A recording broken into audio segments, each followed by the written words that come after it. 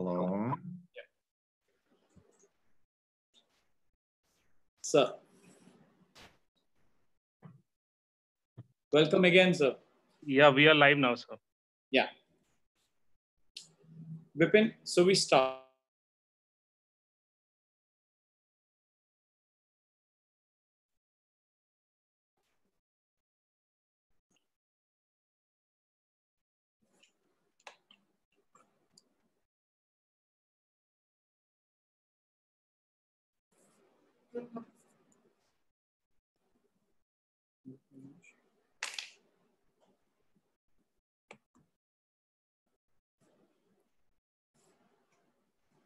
Dr. Vipin, Yes, sir. uh, please publish the uh, YouTube link in the group. Sure.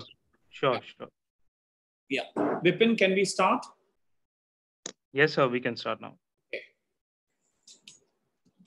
Is it on?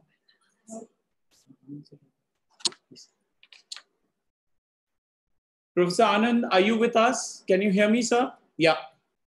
I can see you, sir. Yes, I can hear you. Good afternoon, sir. Welcome, sir. Thank you very much. Good afternoon, everyone. So we begin our program today. I, I welcome on behalf of Ramanujan College and the Teaching Learning Center of Ramanujan College, I welcome all of you to this panel discussion, which is going to be on academic leadership. This is a part of the ongoing induction orientation program for participants across the country. We have almost 6,000 teachers uh, who are participating in this uh, orientation program. And it is indeed my great privilege and an honor to introduce to you three very distinguished academics who are also leaders in the world of academics. I have with me uh, Professor Andreas Altman, who is the managing director of the Management Center in Innsbruck, Austria. I have with me eminent academic from University of Delhi, Professor Anand Prakash. He is the head of the department of the Department of Psychology in the University of Delhi. He's been the former dean of the uh, international relations uh, in our university. And I also have principal of Ramanujan College, Professor S.P. Agarwal, who has been uh, leading this uh, college for the last 11 years. And uh, uh, we are here to get to, to discuss this very important issue of academic leadership. So uh, without uh, taking any more time, let me briefly introduce Professor Anand. It's very difficult to introduce Professor Anand because he is such a luminary, such an eminent academic uh, with, with a huge amount of expertise and experience behind him. Uh, he, his, his area of uh, academic expertise is in social psychology, organizational behavior, psychology of human resources. Uh, he also works on the psychology at, of, the, of the margins and, of course, qualitative and quantitative uh, research. Uh, of the many, many PhDs that he has, uh, that he has uh, uh, supervised, uh, some of the interesting topics that he has worked on is leadership in education, well-being, the concept of well-being and success, meaning of work, value orientation. So this is his expertise and we've uh, in, in Ramanujan College, we've had the opportunity and the uh, uh, the the good good good good fortune of having Professor Anand come and speak to us on many occasions, and he has left an indelible mark on us, and we've been very inspired listening to him uh, and his uh, and uh, and the uh, and the ideas that he has. Professor Anand. has has been an eminent academic, no doubt, but he's also been a kind of a support, a pillar of strength for the University of Delhi, for the number of important positions that he has held. He's been Uh, he has been in the in the reorganization of the syllabuses of Delhi University, not only in his own department but across the university. He has uh, been a major part of research policies in our in our university. He is uh, also a, a, important member in other universities like uh, Jawaharlal Nehru University and other universities in uh, in our country. So uh, with this major and huge expertise and experience that uh, Professor Anand has, I'd, I request him to begin today's discussion with his um, uh, presentation on what he thinks is uh, uh, leadership and academics. Professor Anand. Uh, well, thank you, uh, Dr. Malya, and thank you, uh, Ramanujan College, who uh, often take the risk of inviting me into variety of programs. Uh, and I always feel privileged and humbled by their great gesture and uh, affection so profusely showered on me. And the agenda before us is to look into the issue of the academic leadership. And when I'm going to share some of my initial thoughts and maybe as the discussion build on further, we may take it up uh, to a relatively advanced level. But to begin with, uh, uh, the academic leadership that we are referring to, I assume that we are referring it to for the higher education. Uh, and uh, so I would be specifically uh, addressing the context of higher education and the challenges before the academic leadership to revitalize and reinvigorate the higher education. And my point of reference and understanding would be uh, the Indian organizations in particular, and some of the uh, points and ideas that uh, I am likely to share may also have implications for the higher education in general at a global context. So uh, the education, uh, the academic leadership uh, in this uh, uh, context is of utmost importance and particularly uh, in the present times when there is a very different kind of idea of knowledge is moving ahead. There's a very different kind of expectation of the higher education, the expectation of the society and the expectation of stakeholders are changing uh, at a very, very uh, different level. Uh, so this is the another. The third is the, uh, the stakeholders, including government, society, students, and parents. They are now having a very different kind of expectation and also difficulty. So keeping that expectations of the various stakeholders uh, and the global context in which we have to position higher education, I see the challenges before the academic leadership uh, in this uh, our own country is related to having an ever-encompassing vision for higher education and which has been by and large being shaped by the uh, stakeholder and particularly by the government. So we will have to see that uh, the leadership uh, of the higher education has to visualize what kind of relationship that leadership visualize with the funding, the resource generation. Because I feel for the higher education to flourish unquestionably and into the right direction, there has to be a commitment for the resources from the stakeholder and particularly by the government. Uh, so what kind of relationship that the leadership visualize? Are this leadership going to visualize as the government as a regulator, as a controller, as a guide, as a policy maker, or they only act as a resource provider, as a funder with certain kind of vision and certain kind of a target that the higher education has to meet in terms of fulfilling the expectation of the society. So this is the first very important within that context, what kind of a vision of leadership, institutional vision that the leadership brings by involving all the stakeholders in creating a passionate uh, emotion around that kind of vision that's very important. And the twin objective with the higher education is being visualized. Now the third objective has also been added. The twin objective is that how this academic leadership engages in creation of knowledge and dissemination of a knowledge. And beside the creation and dissemination, how it can shape the various practices into the marketplace. And marketplace, I'm not using in this constricted sense of the term of employability. Marketplace, market as a metaphor in which the society and the various other stakeholder becomes the receiver of the knowledge that is coming from the university. So this three-point objective, the third one is added, uh, I think, in the last decade.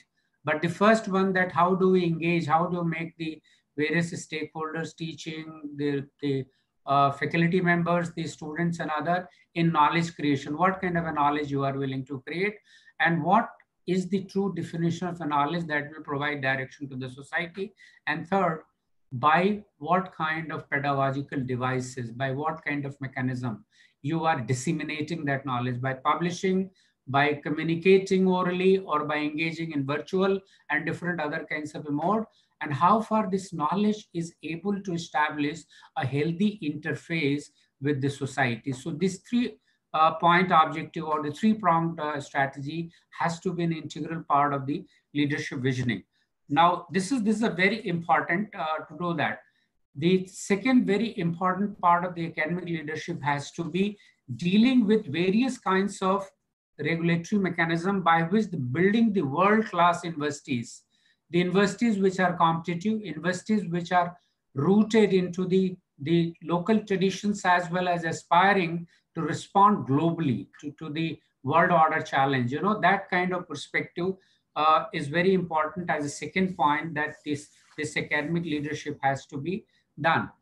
When we uh, normally do research, uh, and particularly I'm a researcher into the organizational context, we often say that the two qualities are very important in a leader. One the leader has to be good in the kind of a job he's doing.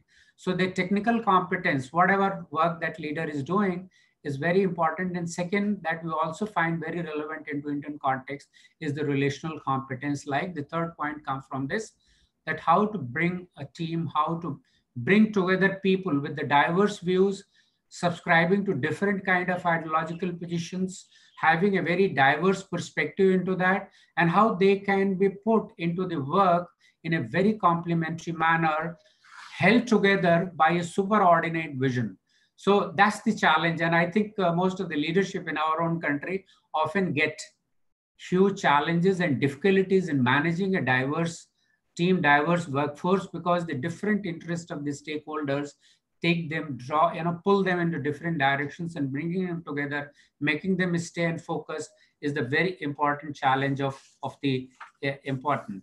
The fourth very important point for academic leadership, uh, particularly in, in the Indian context, is that how do we deal with the regulatory mechanism without compromising with the vision and the mission of the higher education.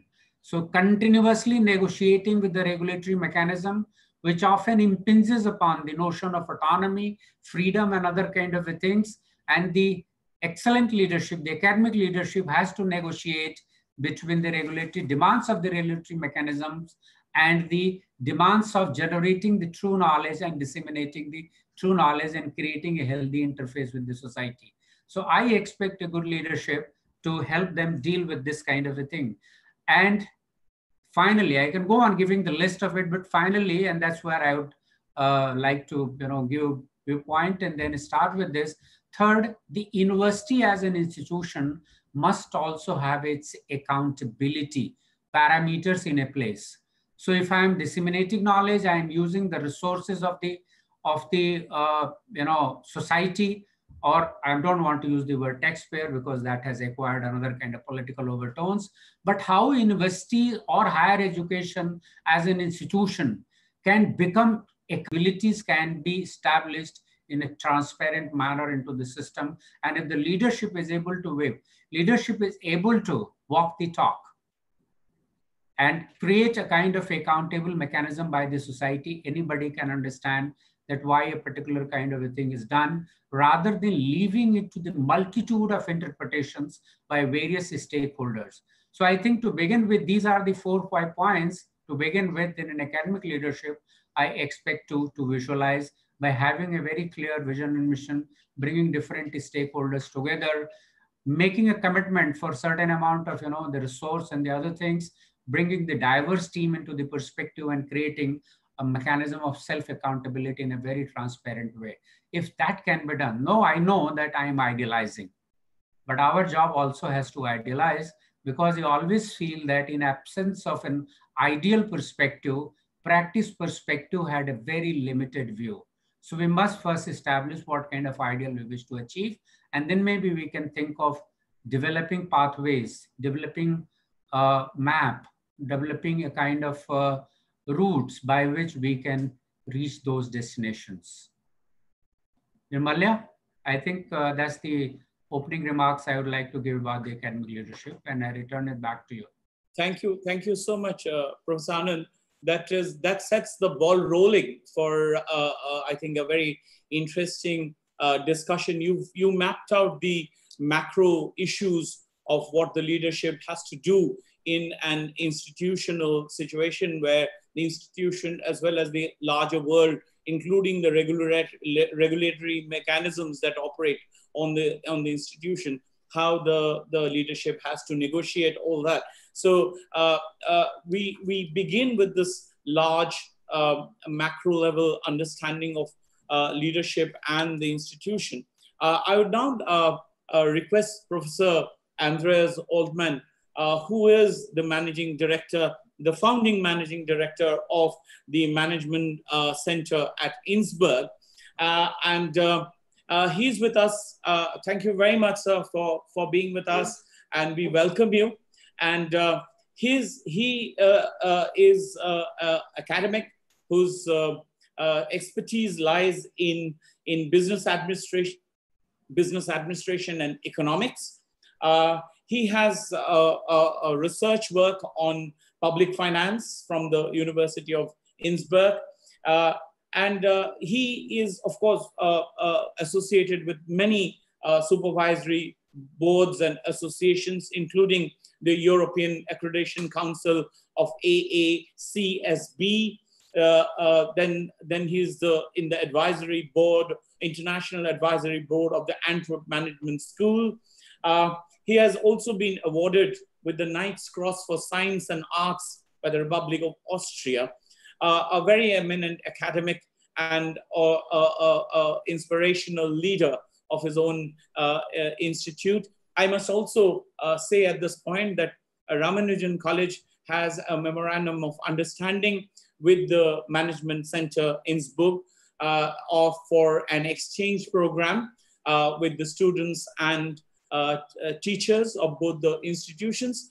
And also, we like collaborative work on, on development, uh, on designing and development of curriculum, as well as of, uh, of sharing research and other knowledge, uh, uh knowledge-based, uh, uh, you know, mm, work that, that both these institutions can do together. So, Professor Altman, um, I request you to make your observations about today's discussion on leadership and academics. Professor Altman.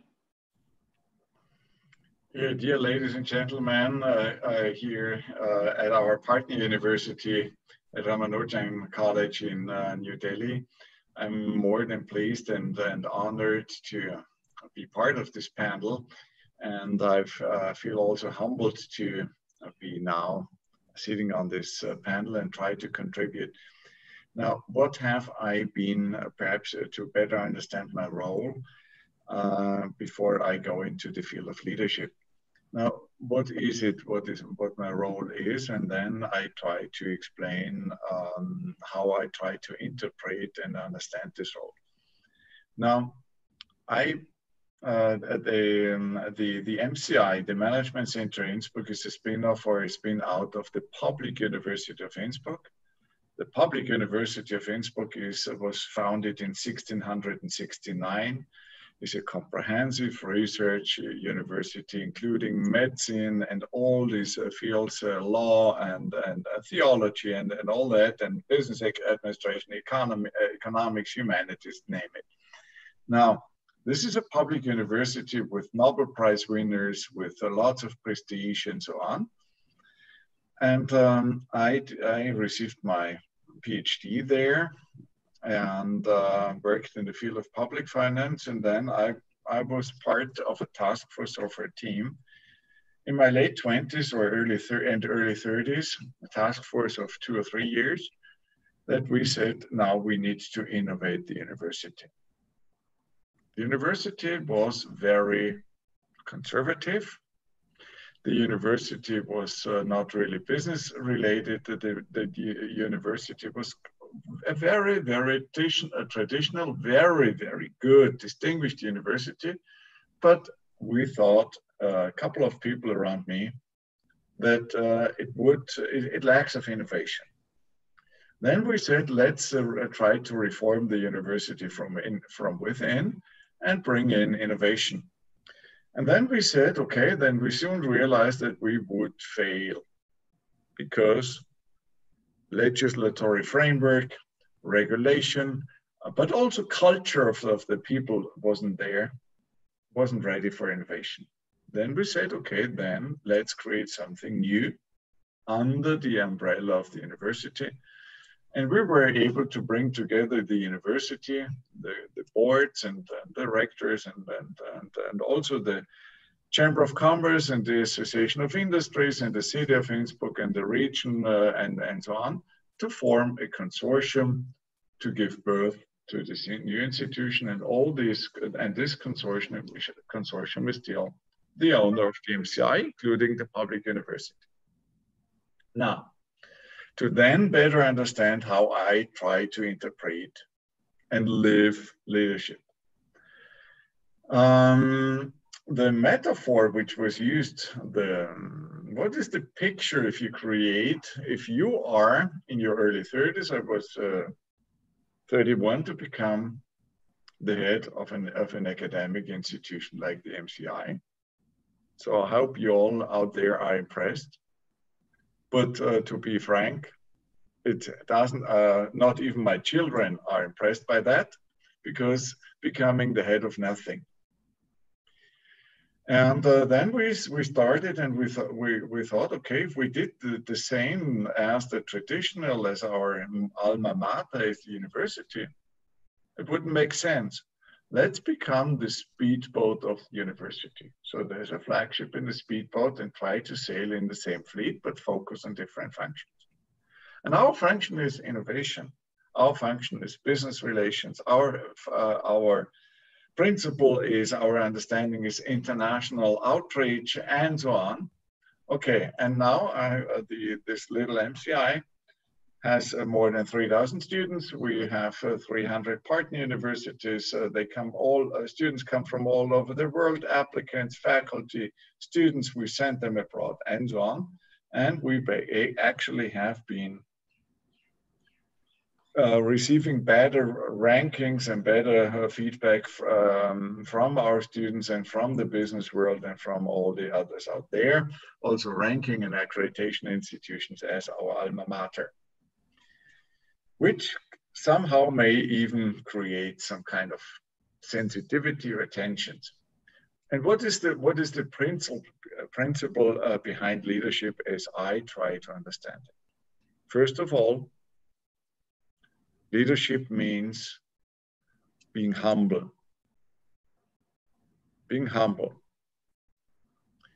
The second understanding of leadership, which I have, I, I don't think this is a principle in any, uh, I mean, relevant for any institution, but in our context, I think it is.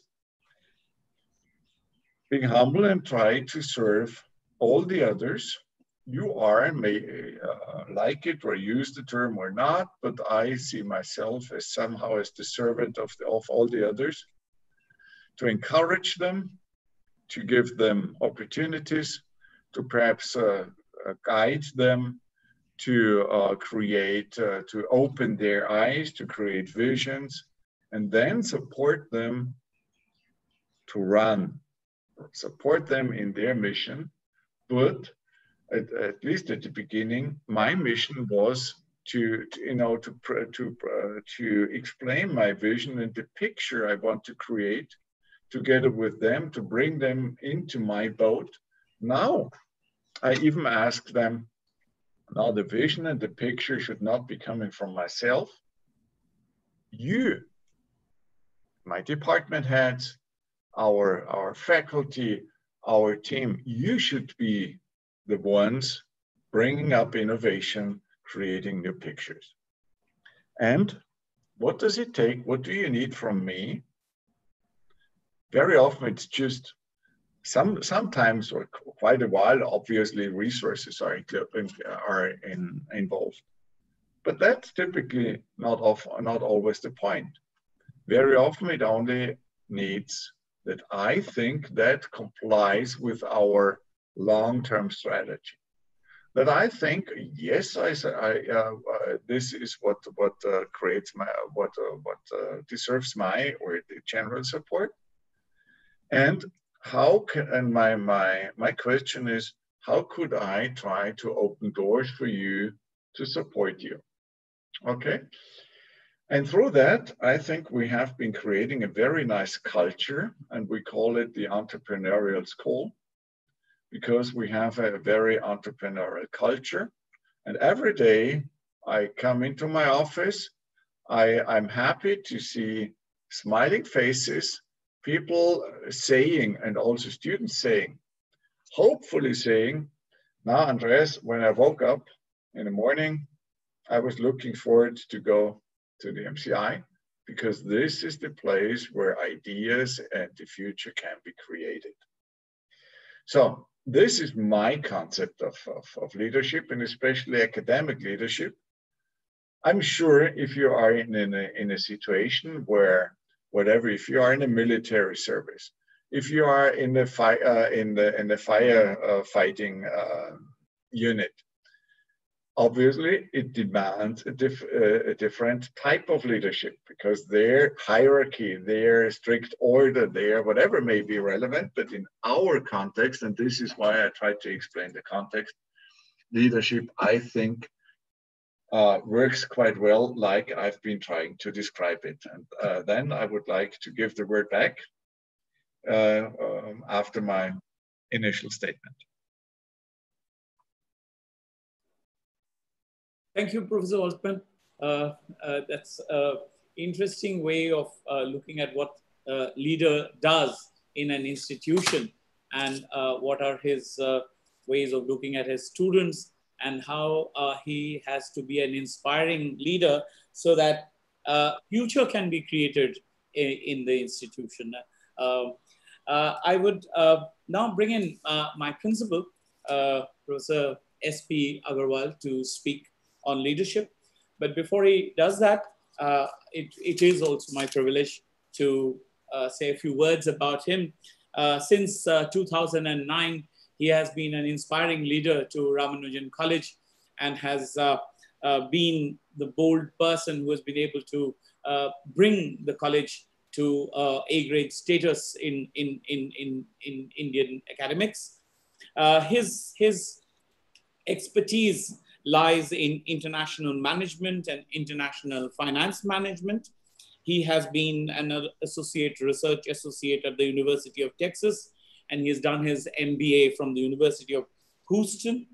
Uh, as principal of Ramanujan College, uh, uh, which is an A-grade NAAC uh, National uh, Accreditation and Assessment Council A-grade college, he has been an important member of the peer teams which the NAAC, which is called the NAAC peer teams, and he has gone all over the country assessing colleges and giving them grades. So he has a huge experience of looking at different colleges across the country and how they function.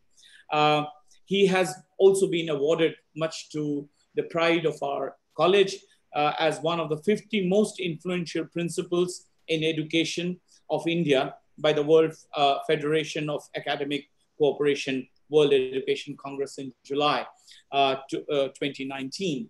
So, uh, Professor Agarwal, uh, we'd like you to uh, give us a first-hand uh, idea about what you think uh, leadership and in academics is all about. Professor Agarwal. Thank you, Samanta, for introducing and saying so good words about me my co-panelist, Professor Andreas, our own Professor Anand Prakash, Dr. Lata, my colleagues, and all the participants who are joining us from all over the country. First of all, welcome and uh, uh, you know, on behalf of Ramanujan College and as my panelists, you know, started a lively discussion, Professor Anand Prakash gave a very good view, macro view of leaders in the universities. Uh, Professor Andreas specifically gave you his first-hand experience, how he brought up MCI and University of Innsbruck.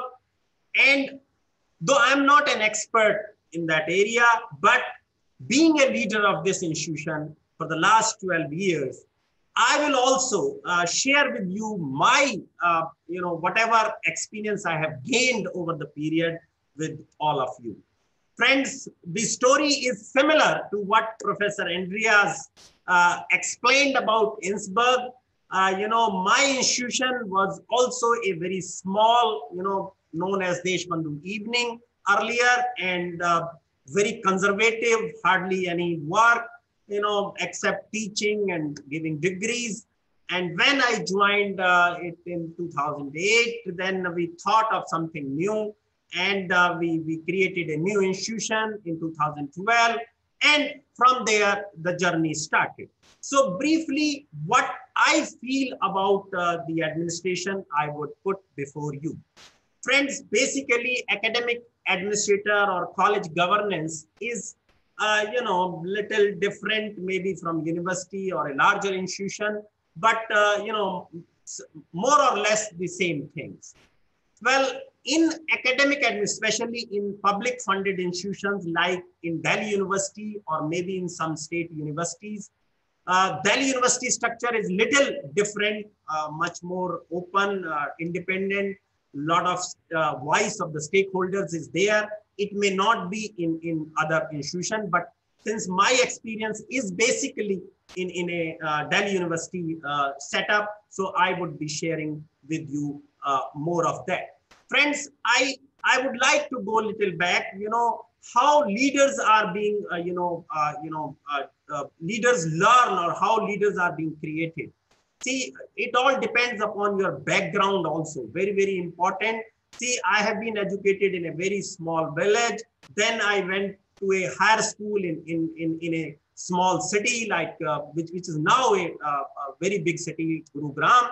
Uh, then I went to Delhi University. And from there onwards, I went to United States in two universities. And, you know, when, when you go abroad and study there, and then uh, during, during uh, you know, summer, like uh, Professor Andrea said, we used to be trained in, in private sector companies, maybe in the form of training. And then once you come back and join a uh, uh, institution, then see, the realization comes that whatever experience you get from all this is really very, very important. So first thing I would like to say to all academics that they should uh, go beyond their institution and discuss, learn, or attain something new for learning everyday new things about leadership or about anything because leadership is one, but there are so many things, you know, under leadership.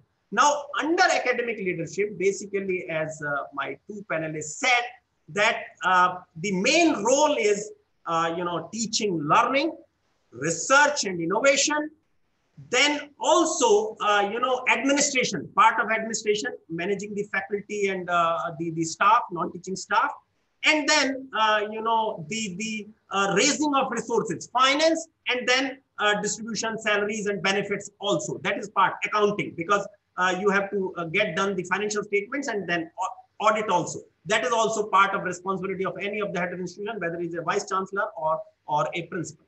So these are basically, uh, you know, three, four things which a academic head. But there is, as Professor Andrea said, there is a huge difference between an administrative head, like in services or in police services or in military, where there is a hierarchy, there is an order, and you order it and things are done. Here, it is completely very, very participative. Fa faculty is very empowered, highly empowered, and they should be empowered.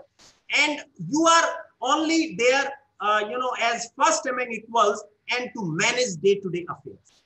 Now, how to manage and how to get the work done, how to get the new ideas, how to uh, you know get the innovation done. That is the job of the leader. So what we did in this uh, you know institution, briefly, I would share with you.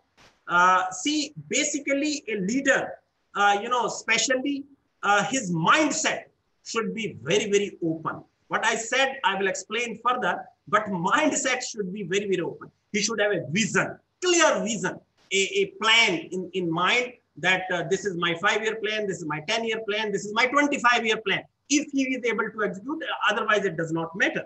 Then he should, you know, dream right. I mean, he should not dream big that, okay, I will, uh, you know, uh, change everything within a minute or within a year. No, it is not possible. Like, let me give you an example. When I started from Deshbandhu Evening College, so everything was in disarray. Everything was uh, not there in place. Now, when you start from such a place, how to start? So what I thought, first, uh, you know, uh, we discussed with the stakeholders what needs to be done to, re to revamp this institution.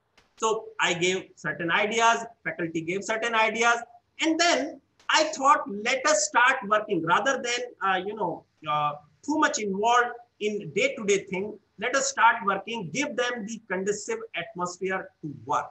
That is uh, you know, cleaned uh, uh, spaces, cleaned toilets, proper classrooms, everything proper so that they feel motivated to work. So we started with that. In, in very first year, uh, you know, we did this uh, uh, very least, you know, interaction with the with the people, but then they started speaking about that yes institution is doing leadership is doing something and then involving them in day-to-day affairs that is also very very important and then when, when you uh, when we talk of teaching learning and research of course you have to supervise also. Let us say you take uh, uh, you know your institution opens at x time you come one hour before that. And then you take a round of the institution.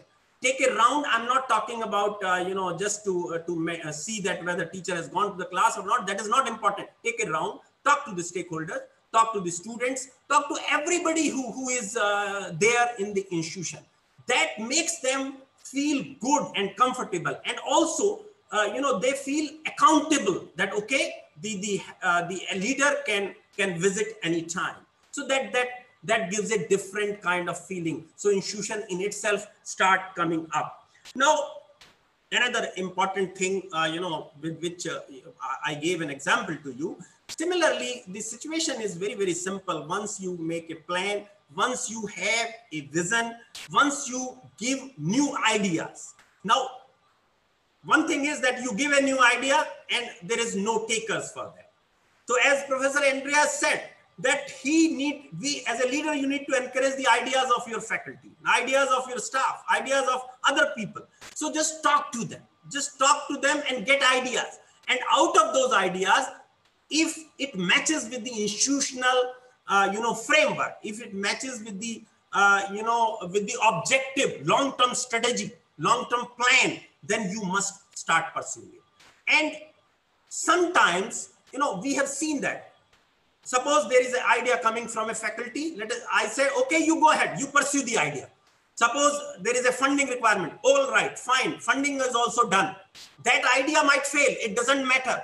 But 99% of the time, the idea will be good and it will come up further. So that people are encouraged that, uh, you know, the, the leadership uh, have a trust in them. You know, uh, another important thing happens is during uh, these, these things that suppose one faculty starts this, two start this, three starts this, then everybody start thinking that I have nothing to do. And then they come up uh, to the leadership that, okay, sir, we also want to do work in that area. You know, my, my simple answer is you should have your own idea. Let us not work in those areas where somebody already is working. Let them be independent. You do your own uh, idea. You come up with the idea. We will fund it. We will uh, promote it. We will do everything in that direction. So that is how you keep on innovating and getting ideas and putting the people to work. So that is what you know uh, uh we have done in this institution. Then empowering them. See we have to share, like uh, uh, both, both the gentlemen said, we have to share the powers. We have to share the, uh, you know, uh, empower them to do certain things. Only thing is you keep a watch on the situation, but empower them to do, to take certain decisions. Unless until you do that, you cannot run democratic institutions. You cannot run democratic educational institutions. So that is very, very important. So you, your mind should be open that don't keep everything into your pocket. Just share with the people, just talk to them and just empower them to do the work. Otherwise, if you do not trust them, things cannot be worked out.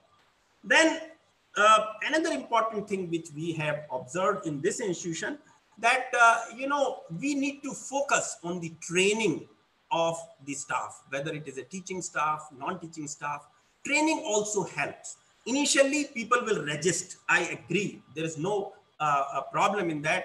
Uh, most of them will feel that we are already trained for the last 25 years 30 years 40 years. How how do we need training? Yes there, there, there, there is a resistance but you keep on starting. At least few will come with you. So then you know what happens is that uh, with the help of this teaching learning center and other things what we did is we started training our own faculty. And the training definitely changes the mindset to do something extraordinary. And that has helped us to bring innovation and research culture into the institution. Uh, you know, uh, faculty started publishing in good journals. Then uh, they started uh, talking about the patents. They started talking, doing something new, uh, you know, which I can share with you. There are several things which, uh, you know, during the course of this meeting, we will continue with those. Then another important aspect which I feel as a leader, see, uh, in, in, academic leadership, conflicts are bound to occur. Uh, uh, Professor uh, Anand Prakash is a uh, psychologist. He, he, he can explain uh, better. But this conflict management is the key to leadership.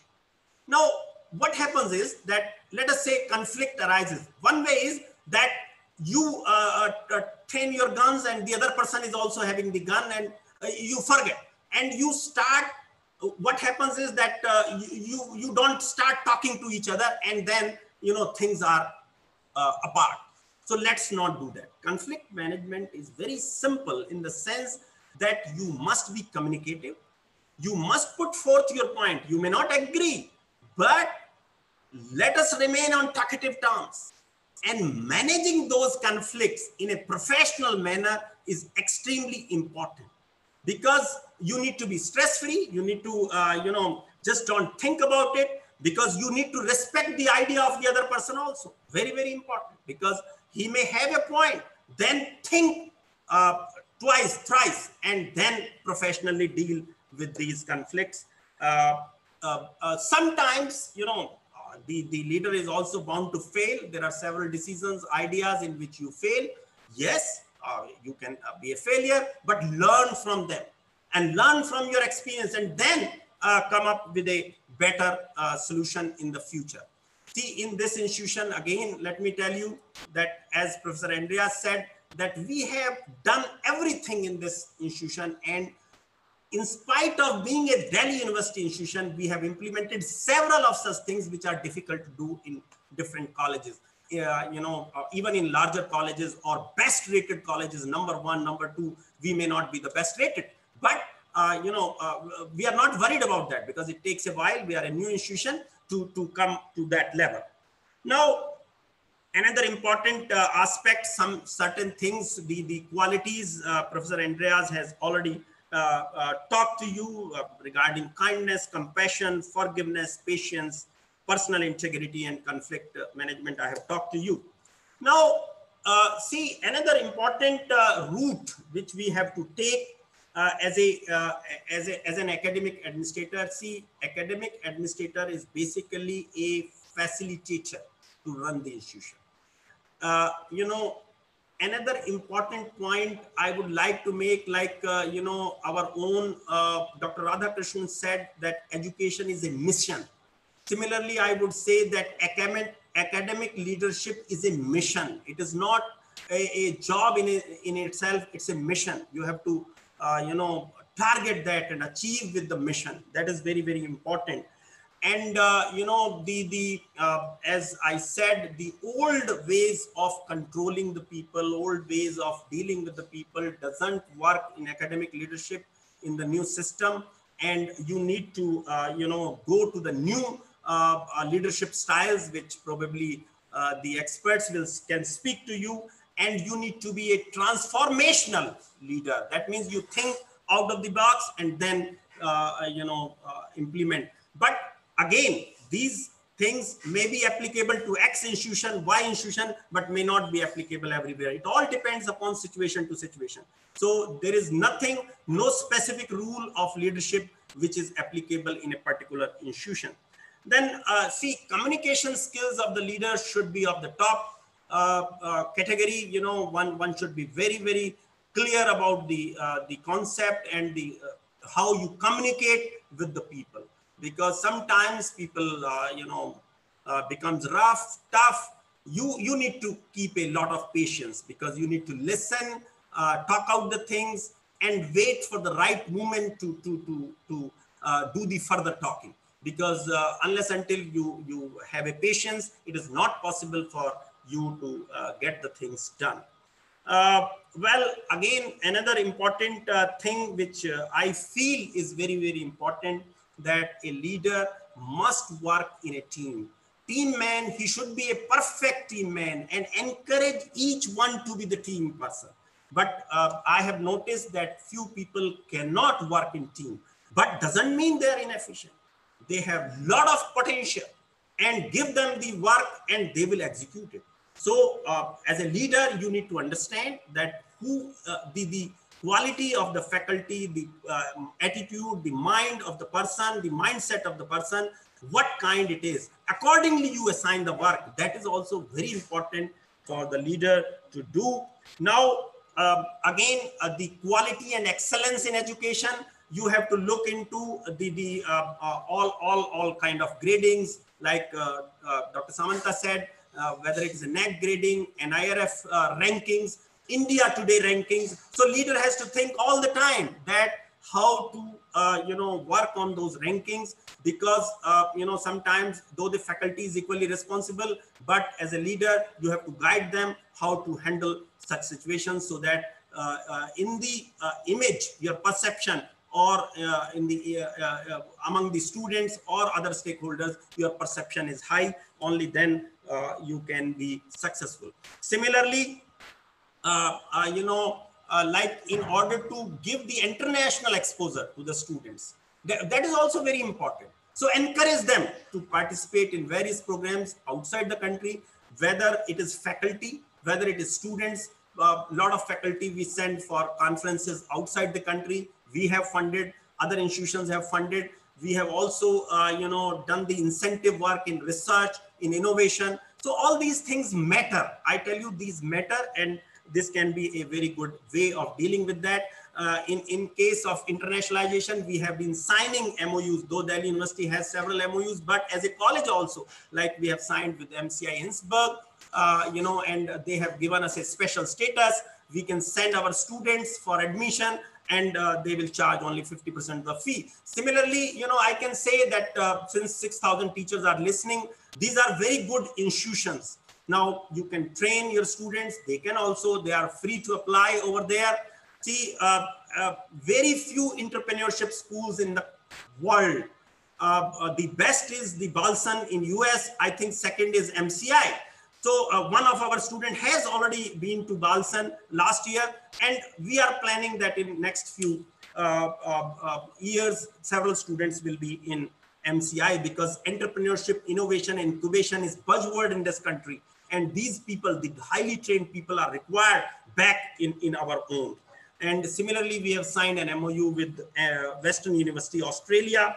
Uh, you know, now in order to give better exposure to us, we have a full YouTube channel. Anybody can go in. This lecture is also being recorded. Everyone will be heard over there. Then another important thing, which I feel is also very important that, uh, you know, uh, always the leader must look for innovation in different areas and training of the students in new technologies. Not only students, also the the faculty. So uh, like if, if there is a scope for data analyst, if there is a scope for machine learning, if there is a scope of artificial intelligence, if there is a scope of internet of things, if there is a scope for blockchain technology, if there is a scope of, uh, you know, mm, robotics, then you, we must train accordingly because only then they will be absorbed in industry because uh, we have to link our education with the uh, employment. Otherwise, uh, low employability is the basic problem of our institutions in this country. So uh, innovation is important. Creativity is important. Uh, uh, you know, again, I'm saying that the various schemes which we brought in this college, we have been the first timers. See, like one scheme we brought, Deen Upadhyay Kaushal Kendra. Now, this is skill-oriented courses uh, ministry came with the idea for the first time in the country. And we were the first one to initiate, you know, our faculty, not I. I mean, faculty said, okay, sir, let's do this. All right, fine. I presented the idea, they gave it to us. So that's how you become a uh, first mover in any of these things. Similarly, uh, the, this training uh, program like uh, Pandit Madan Mohan Malviya National Mission for Teachers and Teaching, we were the first one to apply uh, initially, uh, you know, we were not knowing how to do that, but some people came forward and trained us, and that's how we presented the proposal and we got it. So once you are a first mover, and I never thought, because we were a small institution, we were a small faculty institution, I never thought who will do it. Because sometimes leaders feel, why should I do? Who will do this thing?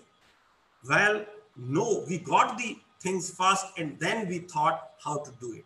And we have been very successful in doing this. Similarly, learning to connect with the people. See, whether it is a domestic people, whether it is uh, international people, whether it is your students, whether your uh, staff, you need to learn how to connect with them. See, again, very simple theory that keep on talking to the people, whether on phone, whether on uh, in the corridor or whether in the uh, in your office always uh, keep on thinking talking and you will see a lot of new ideas come so that you can further innovate and uh, solve the problems. So uh, you know not taking too much of the time one more one two more things i would uh, like to you know add here see basically you know the our main uh, father of the nation, Gandhiji's vision, you know, about the uh, value of enlightenment, value of enlightenment. He said about three things, care, compassion, and concern. I believe these should be also the qualities of an academic leader, the care, compassion, and the concern. And see, this world is just like a nest. It, uh, you know, uh, where where uh, you can say they we, we call it uh, you know for for birds they make a nest. And this world is also a nest and we are part of it. And you see when when bird uh, prepare their own nest and they they feed their you know newborns themselves. Similarly we need to learn to do our work with our hands. Very very important because help yourself. Don't depend upon others to do like I, being a leader, I have observed in my, uh, you know, staff room, teachers as soon as they come from the call, uh, from the home, uh, you know, they will order some PN, okay, bring water for me, bring tea for me. Well, not done. You keep uh, water bottle with you. Uh, there are several things which I do in my office. Uh, though of course we, we take help, but doesn't mean that it is it is our right. So we have to be very careful in in in, in doing this. So with this, you know, uh, let us, uh, uh, you know, uh, I'll, I'll stop my uh, conversation here. Uh, when the questions will come, I will speak further. Over to Dr. Samanta. Thank you, Professor Agarwal. As, sir, as all of you have been speaking, our participants who have been watching this on YouTube have been sending us all kinds of questions and, and comments. And uh, uh, many, many participants have appreciated the idea of the leader being humble, uh, which Professor Altman had uh, said that it was important that the leader be humble, which brings me to the point that is it that we think of leadership as something which is not necessarily humble. Uh, uh, somebody who is you know, in that sense, is there a gap between the leader, the academic leader, and the academic teacher? Uh, very often, I, as a teacher, I feel that there is a gap between uh, the teacher who thinks that the job of the administrator is to run the, uh, the college or the, or the institution, and my job is to teach. So uh, I have uh, there is there is uh, there is a gap there. So uh, this uh, has to be addressed. How does how does the leader of an academic institution uh, spot leadership qualities in a teacher who is not necessarily involved in in administration? So how is this gap to be bridged? I will sir quickly read through some of these questions and then we can take them for example, uh, with changing circumstances, how easy it is for the leader to switch to new ideas and innovation. Uh, Professor Anand, maybe you'd like to uh, look into this. Uh, there's one more for Professor Anand. How important is trust in academic leadership? Uh, which type of leadership to follow, transformational or transactional? Um, uh, there is also questions about does the quality of leadership change from uh, a private institution to a government run institution?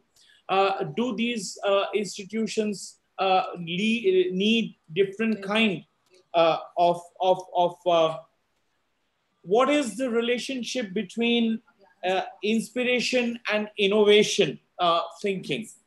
So, sir, let us begin with uh, uh, some responses from uh, Professor Anand about these ideas that we get about trust, humility, cooperativeness, a spirit of belongingness, which the leader should have, and the kind of expectations that the teach, uh, that the that that we have from the leader about running uh, about uh, a day-to-day running and of evolving an institution.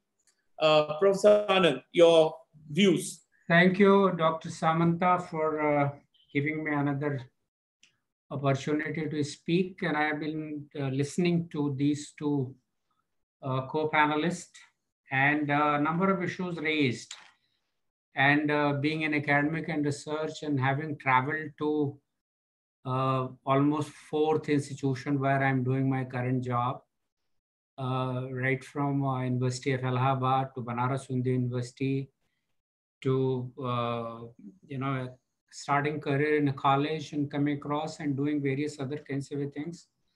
I could see that the conversation taking place and the questions posed by you uh, can be uh, classified uh, into two uh, factors which are important in leader and factor which are important in the institutional context of leadership. So I'll put it into two ways and then I'll come back to the question. Here I'm reminded of a quote from the Harvard president in 2013 when he was traveling to, to Asian University and he said that, look here, knowledge is going to be the currency of the 21st century. It's a very famous statement and where all faculty have to engage in high quality research ensure student engagement and as much of blending of digitization plus the place teaching. These are the three very important things that he talked about. And uh, my uh, role as a Dean International Relations of Delhi University has taken me to a variety of uh, uh you know situations where I've interacted with others and institution, I have got a chance to look at these institutions and others. So I'm just setting the context before I respond to your questions. And some of the qualities which uh, Dr. Agarwal has raised, as you visualizes are necessary qualities in a leader in academic kind of a setting. But let me set the context. I see that in order to gain the relevance, two kinds of uh, models are working in higher education in academic leadership.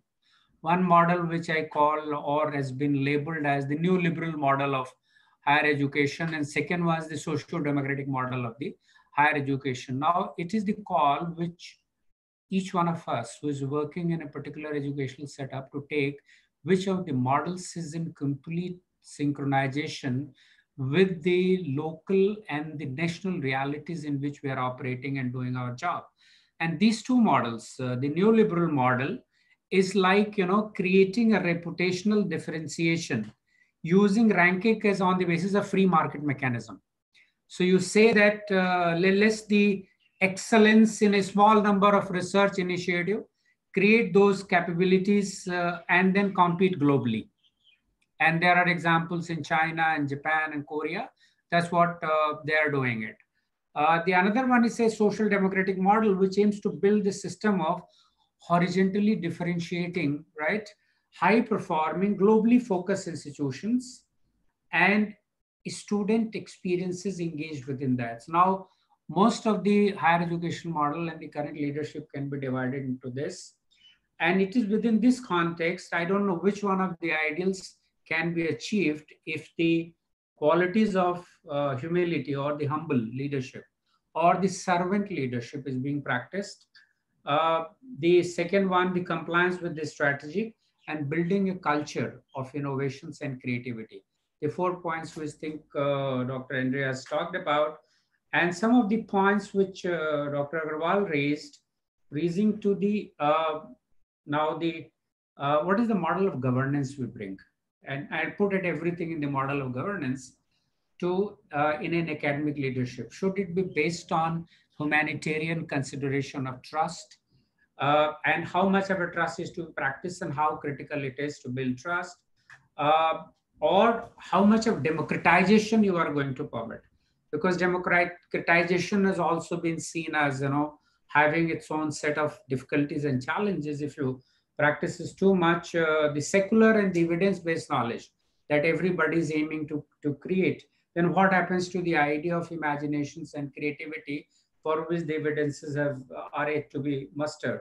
Trust, empowerment, training of staff, conflict management, communication leadership, team building and creativity, all these qualities are going to help you achieve what? Going to give you access to the uh, responding to the challenges of the market, or going to create an institutional mechanism which will be long lasting, which will have a system to sustain the ups and downs of the, and because both models have their own uh, you know, track of uh, own record of the success.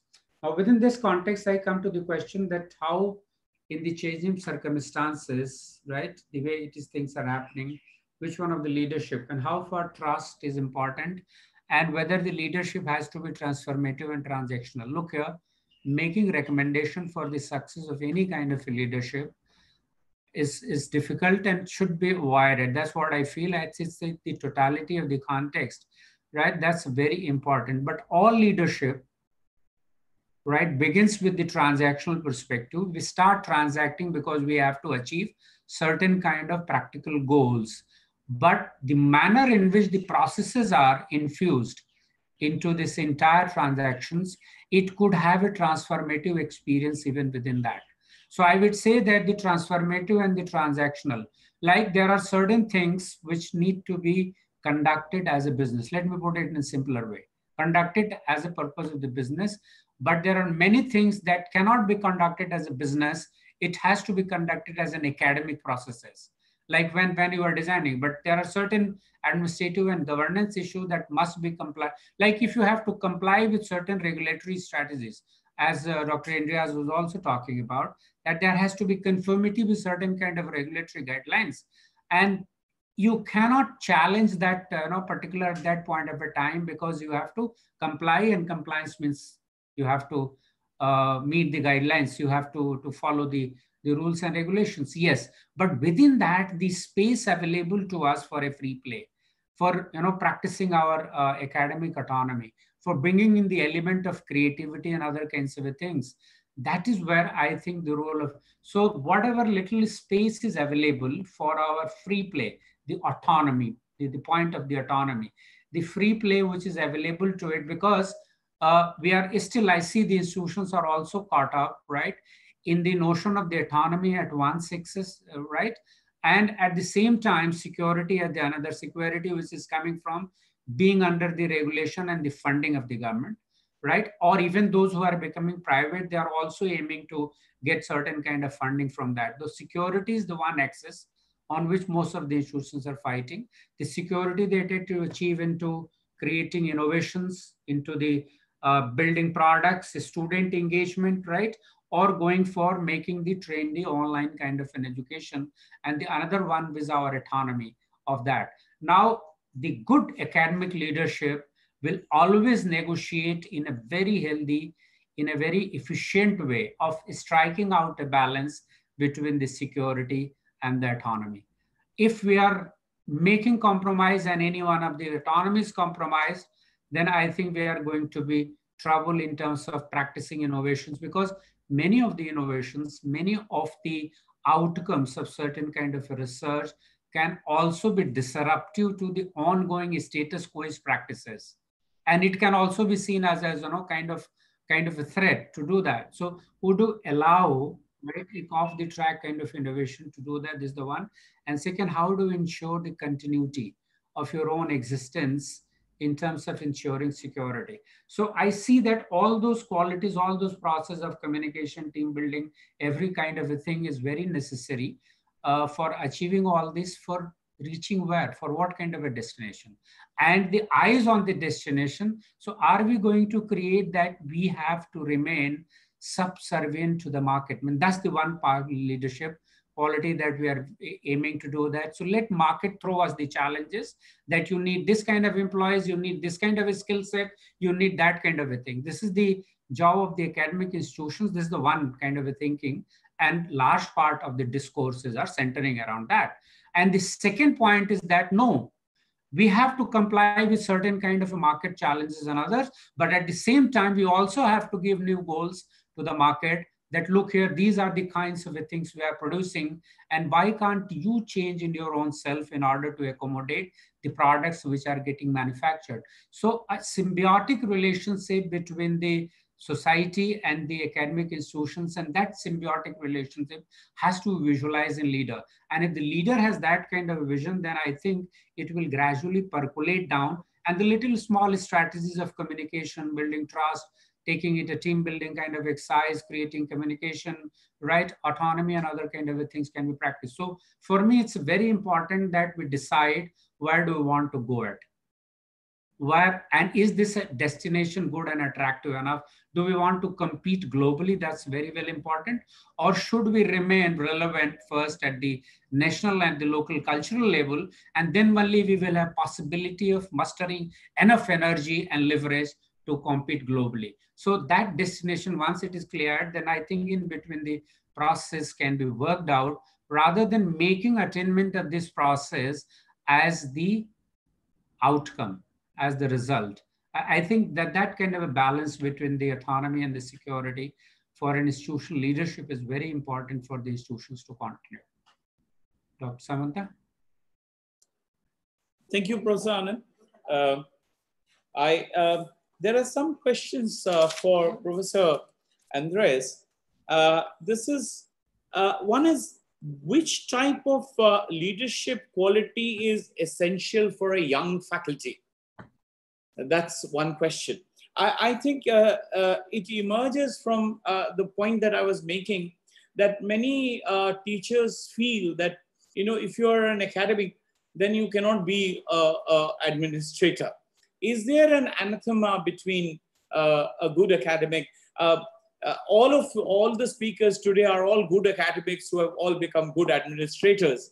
But uh, there is a popular perception that uh, if you are a good academic, then you cannot be a good uh, administrator.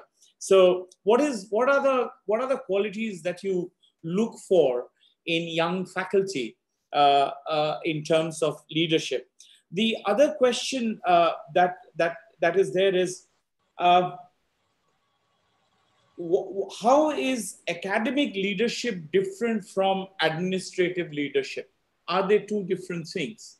Uh, uh, and, and, and what is the, uh, the and the, the third question is, uh, how do you encourage others? How do you encourage uh, your faculty? So, uh, Professor Andreas, if you'd like to take these issues and make your comments. All right, thanks for these many questions and quite comprehensive questions. I try to do my best to answer them at, as briefly and, uh, and precisely as, as I can. Now, what is the credentials? What is it?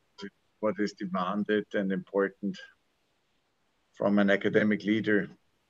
I, th I think it is that uh, the first the first prerequisite is that you must like what you are doing. If you're not, if you do not like what you're doing, it would be written at your forehead.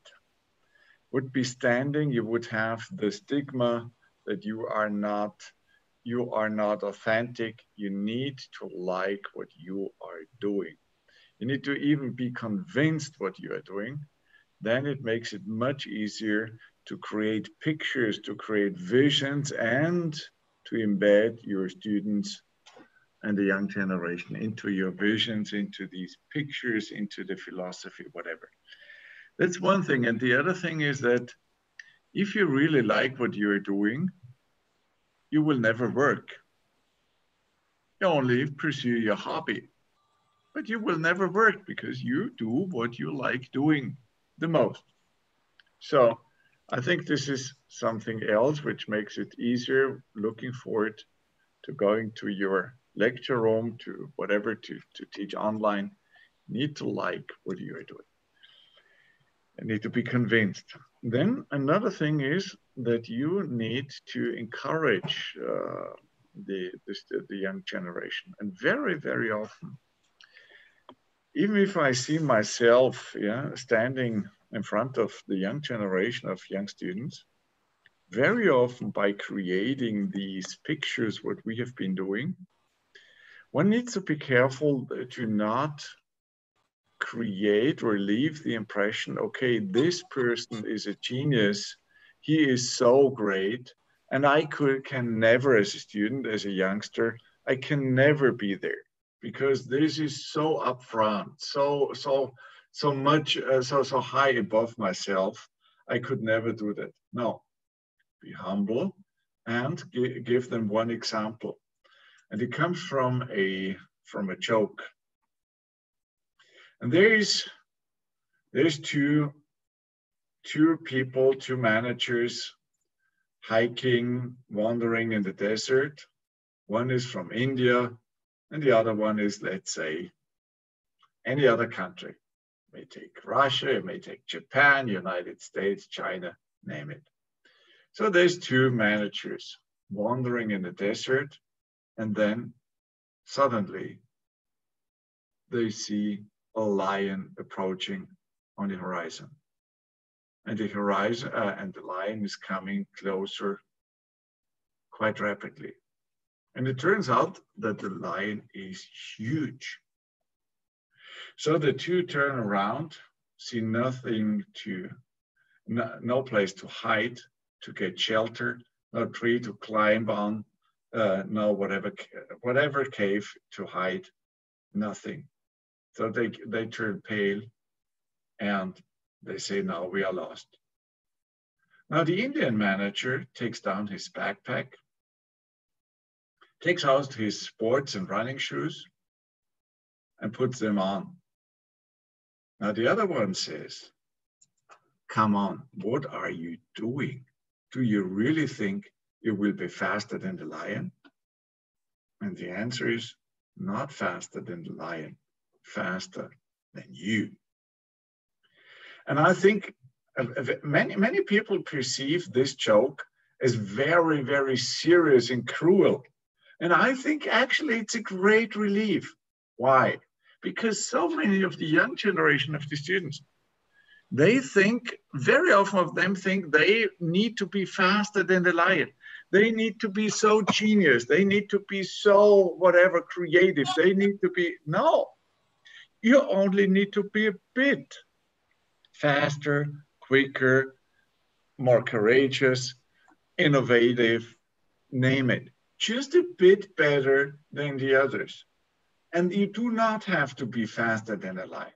Just be always work a little harder. be a bit more whatever, uh, show a bit more courage, and so on. Then you will always succeed. Do what you like. That's the first thing. And don't worry about needing to be faster than the light. Just work harder, be more whatever courageous, and so on, more innovative than the average and than most of the others. You very often do not even have to be at the very upfront. Okay, and that that creates and and and frees uh, energies and motivation because very often they say, okay, we cannot really reach, we cannot get there anyhow. Why, why, uh, why invest? Why, why, you know, why work hard and so? No, it's quite easy. Um, see, when when I started at the, at the age of 31 to build up an academic institution, it was not easy for me either. You have a large alma mater next to you, and you first alone and then with a team of five and then with a team of 50 and then perhaps with a team of 500 you very often I, I was somehow frightened or, or, or, at least concerned. Can i really make a difference? Can i be faster than the lions? I mean there's the lion this huge institution of, of a university. How could you dare to even exist to do something better or, or whatever? No, it's actually quite easy. You do not have to be faster than line. Mm.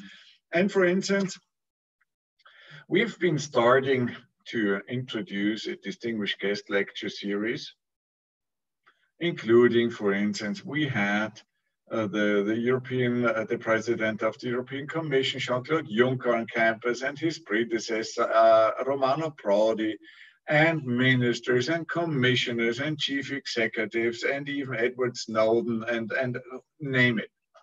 And very often I'm asked by these even global institutions, and especially by, by the young, by my students when I stand in front of the lecture.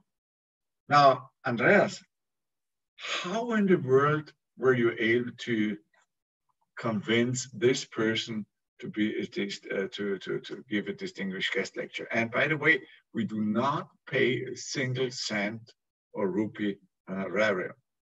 It's just give them the opportunity. How in the world can you achieve that? You know what my, my, my, my, my answer is? Quite simple. By inviting them. Because 99% of the people think, why should I try? They, there would not be any chance anyhow.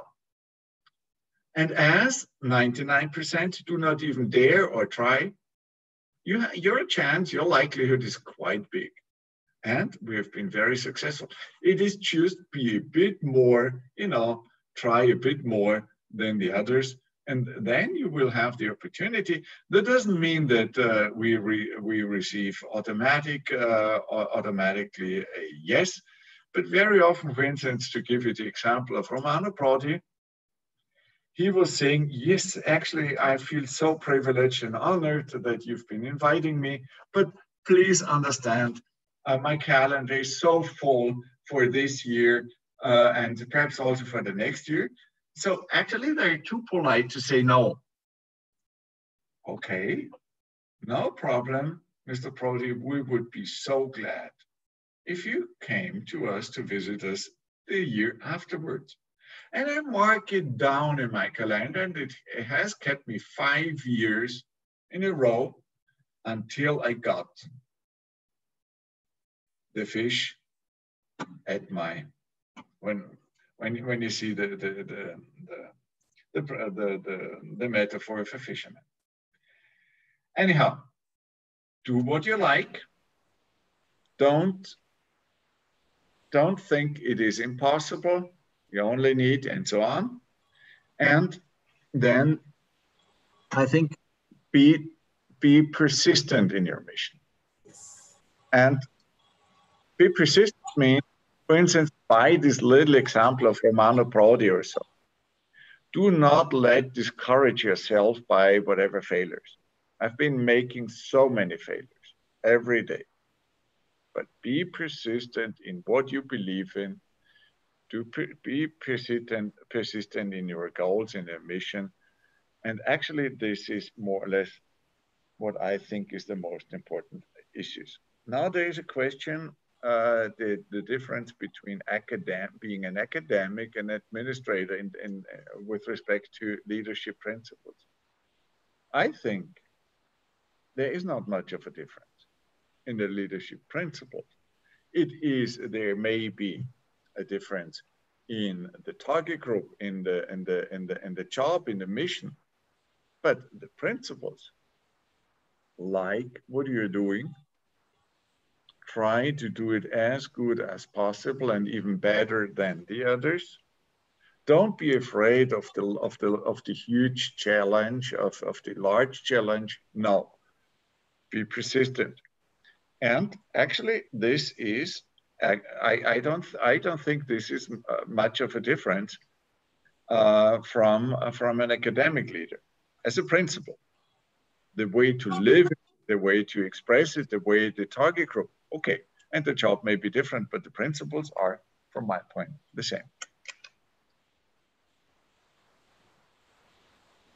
Thank you, thank you, sir.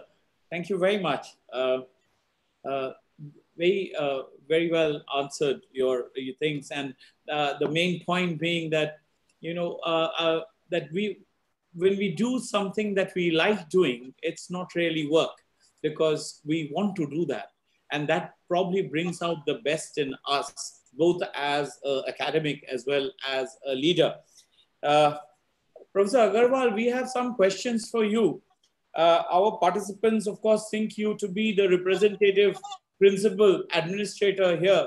So they have certain questions uh, which are directly addressed to you as a principal of an institution. Uh, one of the questions is how do you as an academic leader or how does an academic leader handle social differences? That's one thing. How do you in the same position handle or look at diverse diversity within an institution? uh, of different people. Connected with that would be, uh, is it difficult for women? Are there, are there different and more challenges for a woman uh, academic to be a leader within the academics? And finally, uh, I think uh, the question is that how does an academic leader handle uh, political interference uh, and, and I think a bit of it that was mentioned by Professor Anand also. Uh, and along with that political interference, there is also uh, a question about how do you handle uh, politics within your institution, which, which is. So, so these are, I think, some of the, they're very specifically our participants that said SP sir. So I'm asking the questions to SP sir. Yeah. Thank you, Samanta. Very valid questions asked by the participants. First of all, let me make a general uh, observation. Um, uh, Professor Ananda Prakash and Professor Andreas has put up several things uh, during question hour. Uh, you know, see, uh, uh, you know, Professor Andreas is very valid. I mean, he, he has said very, very validly that basically, if you like your work, if you know if you can encourage the people, if you can, uh, you know, uh, really motivate the people, things are much easier. Uh, uh on the other hand, uh, you know, one has to be in, in any institution, one has to be a, uh, you know, like, like Professor Anand Prakash said, either you follow what others are doing or you want to be a leader among the things. We have always tried in this institution we should, uh, you know, go faster than any other one. Uh, that, that, also, uh, you know, reflected by Professor Andreas that uh, the story of lion. And uh, one thing I would like to comment before I coming to that question that, uh, you know, good academician, good researcher can be a good administrator. Well, friend, let me tell you, I have a, a experience otherwise. you know, it is very, very rare, very, very rare that a researcher good teacher becomes good administrator very rare i mean you can find very few especially in our country and also in other. I have seen the uh, institutions all over the uh, world. I have seen in US deans changing every six months. And I have seen the dean is working for last 20 years uh, in, in, his, in the same. So it, it, all depends. And when, when Andrea says that it is uh, no different, well, faculty, uh, you know, in an academic institution, yes, uh, there is some difference than, than, than the general admission because there is a different kind of hierarchy here. Faculty matters a lot. Faculty has a lot of say in, in any academic institution. So what I'm trying to say here is that if you want to manage institutions better, he has to be a good administrator. He may not be a very good researcher. He may not be a very good teacher. But if you want to progress, he needs to be a good administrator. Because research and teaching will be done by the faculty. Definitely in an academic institution, there will be researchers, there will be uh, good teachers that you can encourage, innovate like we have done in this institution. I, I myself is not a good researcher or a good very good teacher. So, but we have encouraged the people and uh, uh, the example is before you that 40% of our teachers are so good that they can lecture anywhere in the world. So this is what, uh, you know, encouragement does it. Uh, or, or uh, you know, give them the opportunity to work does it. So this is uh, first comment. Now, how do I manage the social differences? Well, friend, not difficult in the sense that you have to get into that. Let us say I said my background is such, I'm from a very small village and then moved to different areas. I have seen everything. I have seen the caste differences, social differences, everything I have seen. And if you are down to the earth, definitely you bound to understand the problems of each and every individual. It does not matter. You need to understand we have a faculty here from a very uh, different background than, uh, uh, you know, the, the uh, urban background. Yes, you have to deal with them differently. You need to understand each and every one very clearly. So it is not difficult if you try to understand. But if you don't want to understand and you want to, uh, you know, uh, mm, uh, you want to impose yourself, it is not going to work. That is not going. So and also very very important here point is that some of your faculty will try to influence which is uh, you know again as a leader you need to avoid you need to work independently in these directions. Diversity very important said you know uh, the, there are always groups in this. Professor Anand Prakash can highlight better. But uh, you know uh, at least i know what whatever experience i have in last 12 years that at least we have managed the diversity very well in this institution, whether it is students, whether it is faculty, whether it is non-teaching staff. Problems occur. There are problems. Sometimes, you know, uh, administrator feels that you have not done anything, but still there are problems. So, but you have to think, work out uh, the plans, work, work out with the people, talk to the people, empower them with different things, then things will be resolved. And it takes a while to to do that. It's not an easy task, I understand, but things can be managed. Uh, connecting with the women and then women leadership. I tell you, women are the best leaders. Uh, I have an experience. We have seen in this institution.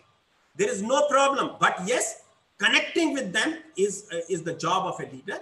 Uh, you know, we have done, uh, uh, you know, with every kind, but but as as among men, women also have different you know roles different thinking different you know perspective. But as a leader you need to understand everybody's you know requirement everybody's uh, you know, uh, thinking. Like uh, I can give you an example that we, we have a facility of child care leave and certain women employee try to misuse that certain, you know, are using it very, very well. So what we did, we, we told the faculty, okay, friends, you make the rules for yourself. I will obey those. Of course, facility is there and we are bound to give. There's no problem. But it should not harm the interest of the institution. So here, uh, you know, once you empower the faculty that, okay, you take the call on yourself and I will implement the same, then probably nobody will come and then you can make the rules and they will follow it easily. Another important political interference. Friends, it is bound to come, in, especially in a public funded institutions, but uh, things uh, are not that bad, at least in, in central government or in Delhi University. uh, I have no experience regarding, uh, you know, the uh, state institutions, uh, political interference because transfers are done by political will, which is not there in Delhi University. Uh, you know, we also get phone calls from political political people. We get uh, phone calls from local leaders, but you have to handle them politely. But does not mean you have to, uh, you know, surrender or obey or or anything. It can be done very easily. I can give you an example. Once what happened, I got a phone call from a president house. He said, "Sir, I'm I'm working here." and uh, one of our uh, ward has been admitted in your college, you have to admit the another one also. Uh, in the first call, I said, okay, fine, let me see what can I do. Very simple. Then, uh, you know, because I knew that he cannot be admitted. Uh, the second call came, I said, friend, what is your name? Where are you working? let me speak to my friend in President House. You will be in trouble now because your job will be at stake. So, you know, you need to handle the things Similarly, political leadership also, where, where you can't do much, but, uh, you know, listen, uh, uh, you know, and then uh, you may not act, but you need to work out with them in a, in a polite manner. Similarly, politics within the institution. Friends, the main thing here is you should not involve yourself in that politics. Whether it is left, right, or center, you should work on a academic goal academic institutional goal, vision, uh, uh, you have nothing to do with that, that, that situation. Of course, the sometimes problem come to you, then try to resolve, try to resolve. We have done here very well in the sense that rather than, uh, you know, uh, uh, rather than uh, pushing each one against each other, we have never done that. We try to calm down both the groups. And that's, that has helped and you need to not differentiate anything. You do as per the rules. And you for you everybody is a equal person. Everybody has the same capability. And i think if you can take work from each and every group you can uh, take work from each and every employee each and every faculty things can be easily worked out. Thank you Samanta. Uh, this is my uh, point. And if you have anything else i'm ready so, uh, now we uh, we enter the last phase of our concluding phase of our uh, discussion today. Uh, Professor Anand, would you have any concluding comments to make? Would you agree with uh, Dr. Agarwal when he says that researchers and academic uh, leadership are kind of two different paths? Sir, your mic. Sir, your mic. Your your speaker. It's, yeah, that's right, sir. Dr. Samanta, thank you very much. Uh, I've been quite fascinated uh, when I listen this that uh, you do a job which you like. And as a psychologist, I often, you know, ask myself, do I always get to do things which I like? Can liking also be developed after having experienced something which I didn't like in the initial? So are we talking about uh, the like as possibility of a choice?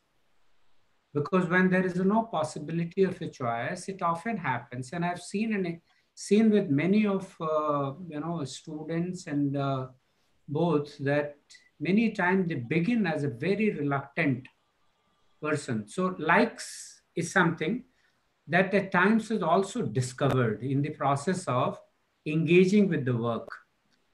Like I gave uh, one book, uh, My Experiment, The Truth of Mahatma Gandhi to my student as an essential assignment. No one liked me, no one liked the book. They said that this is a treacherous and you are killing us by making us read such a thick book.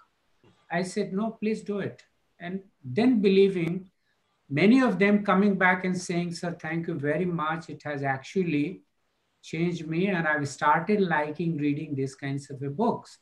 So this, this possibility that I may do something which I may not like in the beginning, and mo most of us can recount and recall and reflect about our own experiences that times the journey begins as a reluctant traveler.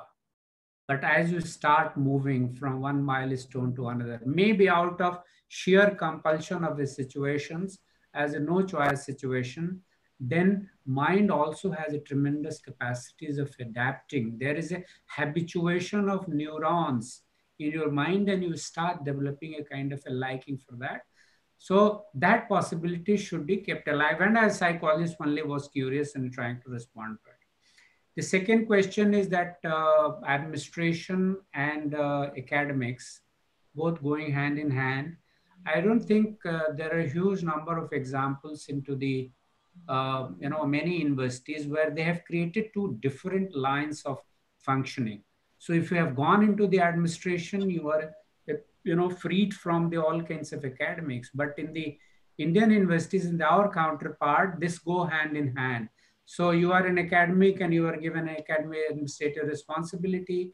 You are supposed to acquire these kinds of administrative skills run it efficiently and do it because they are based on certain kind of untested uh, assumptions and the ideas so there has been very mixed kind of you know the reports uh, the administration requires a different kind of skill set. And I will give one personal example. Uh, when I joined uh, Delhi University as a young faculty, uh, and I was supposed to teach an applied discipline, applied psychology. And uh, I wanted some allocation of fund to get myself trained into certain uh, pedagogy and certain kind of skills. So I went to meet the director at that time. I, will not name that person. And he said, look here, there is no provision in the rule book to do the funding for associate professor. That time it was called readers, you know, training. I said, sir, I don't feel equipped to teach this kind of course and I need training myself. He said, there is no provision for funding and there's no budget. I have come to an academic leader this rule has already been told to me by the people down your line, which are the clerks. They, they run the administrators. I have come to an academic leadership. A person who is an academic leader has to create provisions. Yes. For creating that budget allocation and the grant, the rule has already been told to me by the clerks. Now, if I would have been satisfied by getting the rules, I would not have come to you. So that is the kind of it. And it was visualized that the academicians, if they find that certain rules and regulations, they will always interpret it into the larger interest. And that is where I would like to differentiate it between the principles and the rules. Principles remain the same, uncompromising, the good for all, the wellness of all, pursuing the larger institutional principles. But if the rules which are situational are interfering in the attainment of the larger principles, that new rule need to be interpreted. And I feel if there is an academician administrator, an administrator who has a certain academic practices will always interpret the rules, right? And look, look at our own records that many of the administrators have interpreted rules to suit the requirement of the academics rather than putting it into the iron cast cases and say that this rule can't be changed. So that's why has to be difference between the finance uh, and the audit guy and the academy guy. So that's the one. And third thing, the politics thing, which uh, um, finally I'll summarize, that the politics is basically the process of uh, ensuring distribution of resources and the power, the decision making. And a good administrator and a good leader keep balancing it out so that it doesn't get, uh, you know, uh, cornered by a few members of the institutions that they only have the access to these resources and to the power of the decision making. As long as a good administrator have a helicopter view and saying that no, it can be shifted, it can be given to others. And if I'm giving it to the one set of people to have that resource and have that kind of power to influence, then these are my well-known reasons for doing that. I think I, I, would like to do that. And then only you can say that, well, if you are able to demonstrate the same set of competencies, capabilities, right, abilities and deliveries, then you can also be entitled to have the same kind of uh, resources. And ensuring that is the politics. That is what I would call a politics. Politics is a, not to me is always a dirty word but always, always say that it is a process by which the decision making and the power distribution is carried it out. So leadership is expected to do it as a value driven politics.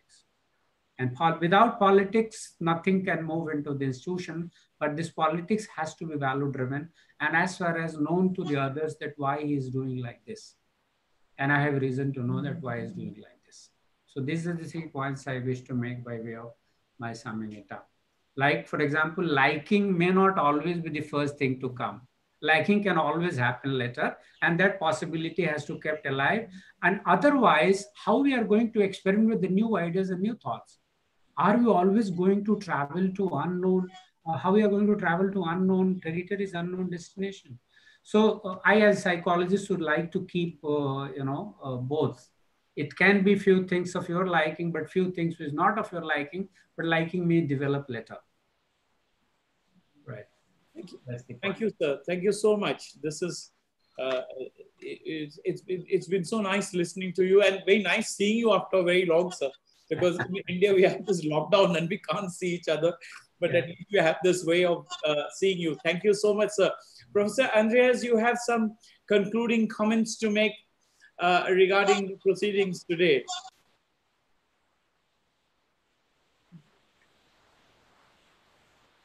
Actually, I think this is very, uh, I can keep it short. Live your dream. Live your dream. That's, I think, what you should have, what you always uh, should keep in mind, and communicate your dream. Perhaps I, I may conclude with one final remark, because leadership means also make, make decisions and communicate. And perhaps I haven't been mentioning this enough. See, whenever uh, we, we have whatever a, an application, give an example. Someone uh, uh, applies for a study place at the MCI. And this, uh, by whatever, uh, for whatever reason, is a very, very important person. Hmm? And they are being accepted or not, depending on their performance in their admission. Okay. And uh, very often, because that was also, is there public influence or political influence? Yes, there has been uh, attempts to influence enrollment and admission decisions. And you know what I'm doing? All those positive, those who make it through the admission process, just receive the normal letter delivered by the postman or now via whatever. That can be done by the secretary, by whoever. I'm, I never communicate a positive decision in this respect. That can go the regular way. But when a very important applicant or out of a very important family applies and is not accepted, it's me, call this person, myself. I call them up, typically late in the evening, after work, eight o'clock, nine o'clock, not 5, 5 p.m., not, not nine to five. And you know, the, and I explain them, you were not good enough in the admission or others were better and explain them the reasons.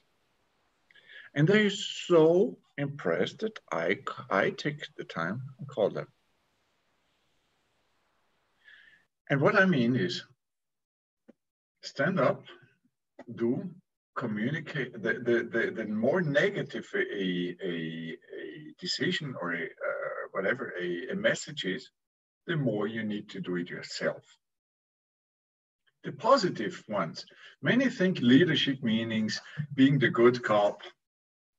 You know, being the good cop, I've been doing a favor to you. Uh, I'm, I'm the one being, bringing you the nice message.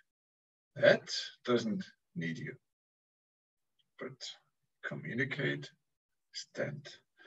This is the decision, and it has been coming out and it complies with our principles this is why I call you to tell you this. And you're important enough to me to say you that. And I think this is perhaps something you, which may help you through through uh, your career. Why? Because I never afterwards or after when doing that, I never, never ever received something, uh, any complaint, any pressure by whoever, I mean, I wouldn't, uh, I wouldn't, uh, I, I wouldn't uh, make compromises anyhow. But why? I mean, by doing that, it, I receive acceptance. And this is the important thing. Thank you so much for letting me being part this wonderful panel. And uh, my desire and wish is that all the the teachers now are uh, doing their job, doing their best, hope, hopefully liking what they are doing, hopefully inspiring the young generations, are taking the one or other example or principle with them, which may guide them through their job and their career. Thank you, Professor Andreas. Thank you very much. Uh, before I uh, go on to uh, Professor Agarwal for his final comments, uh, I'd like to tell my participants that Ramanujan College is already engaged in doing collaborative work with uh, MCI Innsbruck. So uh, if any one of you, your students, your institution would also be, want to become a part of this adventure, you're most welcome to get in touch with us and we will uh, carry forward this, this uh, uh, work together to all my participants all over the country who are listening. And I also want to say that those of us who have not been able to see this um, uh, thing live on uh, YouTube, this will be uh, put or back on YouTube for viewing at later later points. Dr. Agarwal, um, final comments from you. You are the principal of a college and the college has done exceedingly well in the last uh, uh, one decade, and it's become one of the one of the most well-known colleges of Delhi University and also of, of India. Uh, what would be your final comments about today's uh, discussion? Okay, first of all, uh, really thankful to my co-panelists. Very good observation, uh, both by Professor Anand Prakash and Professor Andreas. Actually, I have also learned several things today. Well, the final comment I can say that, you know, basically, it all depends upon situation to situation. There is no definite rules. There are no definite uh, styles. There are no definite, uh, you know, papers in which it is written that uh, you act like uh, Professor Prakash said that uh, rules has to be interpreted in the interest of the. And you all know that we have done in this institution whatever is best in the interest of the institution and interest of our stakeholders. so I think the basic philosophy is very simple. Uh, you know, it all depends uh, uh on situation to situation in any of the academic institution. Uh, you know, I we can speak of our own some people raised a query that is it different in a private and public funded? Yes, my dear, there are differences, but uh, you know, basically, uh, I can relate one example here. When we go to inspect a private institution, things are, uh, you know, very, very, uh, things are in place. But in a government institution, there is no cohesiveness. Things are not in place. Now, that is one observation. But that does not mean that does not mean that institution is best and that is worst. No, no, I'm not saying that. Uh, see, it is all uh, you know the work how you take. See, public funded institutions are facing serious crisis because we are not working in a team. We are not working in a cohesiveness. What we feel is that we are there and nobody can stop us. Uh, nobody can uh, do anything so let us do whatever we can or whatever we want to. So, uh, you know, this is just besides the point that, of course, the good public funded institution, if having a good leader who, who listens to everyone, who, who interacts with everyone, who work as per the situation, things will be much, much better. And most of our public institutions are suffering because we do not have good leaders. That is the reason I, I made a comment that sometimes we appoint very good researchers, very good teachers as, as administrators, but institutions suffer. So we, we want that institution should not suffer. So let us, uh, you know, I'm, I'm, concluding with this thing that there is no definite rule, definite uh, formula where we can say this is the this is how it works. But I have an advice for young uh, faculty that they must learn every day. They must be part of the administration for any work which they feel or they like, as Professor Andreas said, that, okay, I want to do this. Even if the leader is not inviting you to do, you just go and tell him that this is my interest.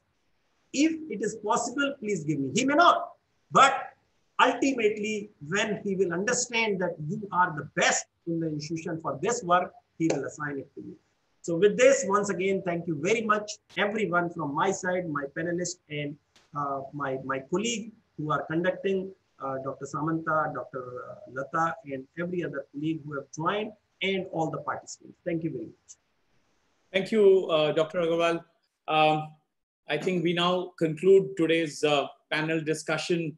Uh, I have this privilege, honor of thanking uh, Professor Anand Prakash for being with us. Sir, you've always been very kind and your blessings for us and our institution has taken this institution where it has. Uh, in in in uh, we, we have a you know we have really have no words to thank you for being with us here today. Uh, Professor Andreas Altman, thank you very much uh, for being with us.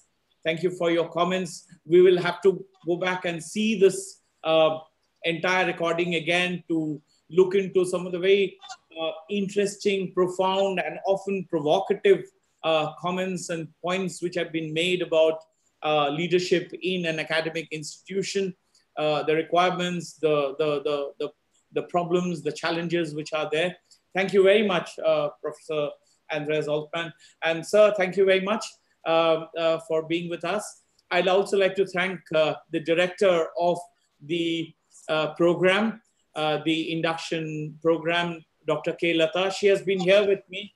You haven't seen her, but she's been looking into the YouTube and taking down all the questions which have been coming from the participants. And she's been giving me these sheets of papers uh, from which I've been reading out and, and, and, and putting the questions. Thank you uh, very much, Dr. Lata. Thank you, Dr. Vipin, who has been the in charge of all the uh, technical, technical things uh, here. The entire team, uh, which has been organizing this one month, almost now it's uh, towards its last leg, this one month long induction orientation program. I'd like to thank all my colleagues for their support and help. And finally, of course, uh, thank you once again, Dr. Agarwal, for this opportunity and for this program. Uh, hope, hope to see all of you soon. Hope to see you after this COVID thing is over and uh, we can meet. Uh, thank you very much. Thank you, Dr. Samanta. Thank